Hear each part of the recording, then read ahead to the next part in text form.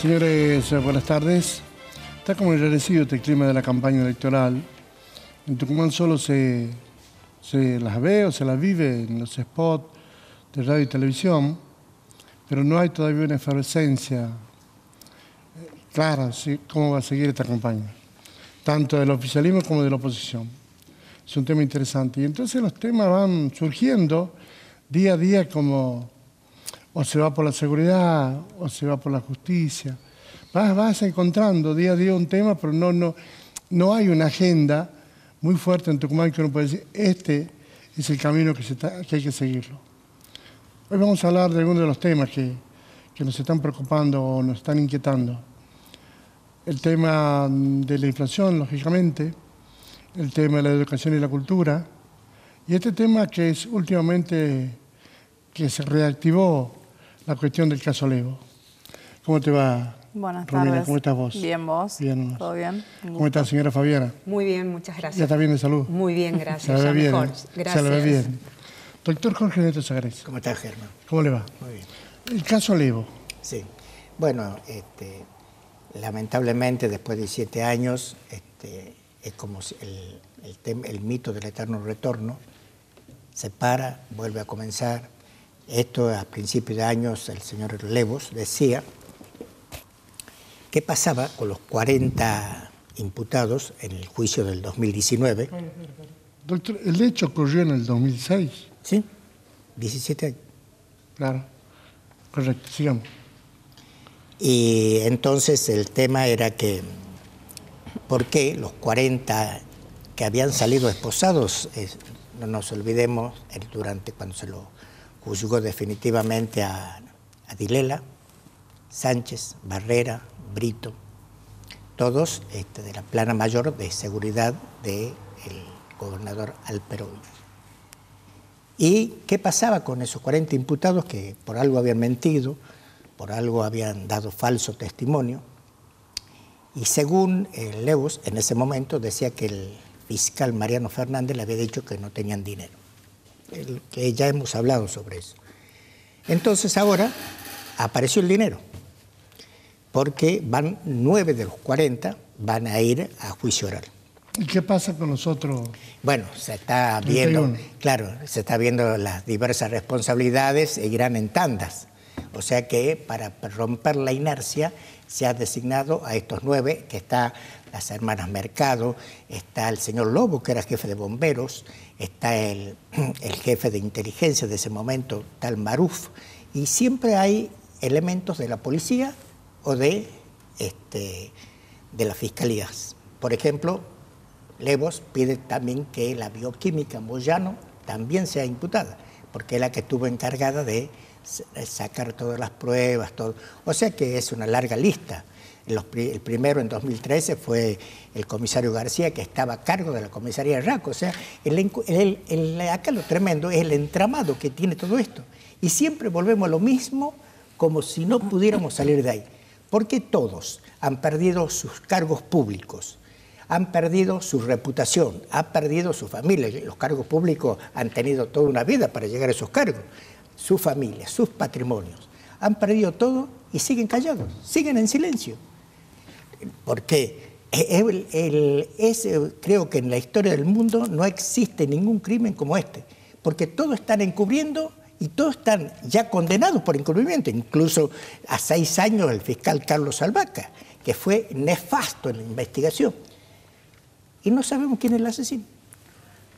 Doctor. ¿A quién encubre? Claro, se sabía de que hablaban de- del Claro. novio. En No, este no, por eso, pero todas son suposiciones. Acá, Claro. ¿por qué encubre? O sea, si fuera Soto, encubre- no, no, no, ¿Cómo no es no? serio.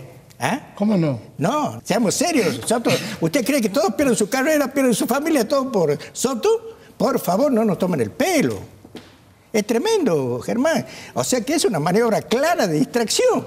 Calmándose usted. Sí, yo estoy calmado. Le pregunto, ¿por qué no puede...? Usted dice que todo lo encubren, lo encubren Soto. Yo, yo digo que ¿cómo lo van a encubrir a Soto? Tomando esa Claro, hipótesis. sí. Doctor, en esta nueva instancia, ¿Hay testigos nuevos o es de esas No, no. 40 Claro, personas esas 40, van o sea a ir que de es por nuevo eso a le digo, es como una cosa que vuelve a retornar. Los mismos testigos que en ese momento salieron detenidos de la sala de- del juicio son los que recién cuatro años después, al conseguir los fondos, según la explicación de- del fiscal al señor Levos, entonces recién vamos con la primera tanda de nueve, o sea que faltarían por lo menos cuatro juicios más mínimo. Doctor, ¿y la prescripción cómo juega en esto? Bueno, eso se está estudiando si la prescripción, porque siempre apuntamos a la prescripción, entonces acá nadie va preso, no descubrimos nunca los asesinos. Mire, Beatriz Argañará desapareció, perfecto. Dos principiantes ah, asesinando porque están condenadas por eso, y el cadáver nunca apareció. Mire el caso de Rejas, también su mujer y su hijo desaparecieron, nunca más se lo encontró. Este, el caso de Marita Verón, nunca más apareció. ¿Qué pasa? Y todos desaparecieron democracia, Germán. Y acá nadie se dice nada, sigamos adelante. Doctor, ¿qué estamos en Tucumán o estamos en el Triángulo de las Bermudas? No, no, pero por, por eso le digo, es, es algo tremendo y que eh, usted cuando junta, como estamos haciendo ahora, todos los factores, mire lo que es. Y sin embargo nadie lo hace, nadie habla, nadie dice nada, como si ahí seguimos la vida normal. La sublevación de la policía en el 2013, recién en octubre van a ir a juicio. ¿Ya cuántos años pasaron? Diez años. Entonces todas estas cuestiones solas quizás no tengan el impacto, pero cuando usted las eh, acumula, las junta, mire lo que ¿qué está pasando. Es como una, una desaparición de todo y encima los que tienen encargados de, de seguir adelante con las actuaciones dicen no tenemos plata. Entonces, si no es una cuestión, el Poder Judicial tiene que cumplir lo que, te- lo que le corresponde, como cumplieron en el 2021 el 2021 con el fiscal Carlos Albaca, que también apuntaba la prescripción. Y ahora apuntaba también que por los 70 años salga a la cárcel, porque no es solamente los 70 años, sino el peligro de fuga, este, que tenga las condiciones dadas. Por eso es que sigue todavía en Villa Urquiza. La pregunta que le hago, doctor, volviendo al tema este. Sí. Ella le dice esto el tema con las Bermudas, pero acá estamos hablando tres casos o tres Claro, episodios que eh, fueron histórico. emblemáticos en Tucumán. Claro. En el caso de Marita Verón, se avanzó muchísimo. Este caso, ese llegó a corte, Llegó a la corte y después explotó con lo de la cámara. claro. Cuando la Cámara absorbe a todos. Tremendo. Tremendo. Vol- volvemos al caso este. Este caso hay ya condenado. Esta nueva instancia sale en Cámara, Este, bueno, El nuevo juicio, el hizo en la Cámara. Claro, sí, por supuesto. en la, la conclusional. Claro, eh, ya, ya es eh, una, una cuestión de, de determinar las responsabilidades de cada uno en el juicio anterior. Claro. Claro. Si usted fuera juez Sí. de instrucción o, o el viejo juez de crimen, ¿usted qué piensa? ¿Por dónde debe ir la investigación? Bueno, el tema es, antes de plantearme por dónde debo ir, debo preguntarme, que es lo mismo de siempre, ¿por qué se demoró 17 años? ¿Quién está comprometido con el crimen de, de la señorita Levos? Ese es el tema, Germán. Porque todo lo demás fue un disparate.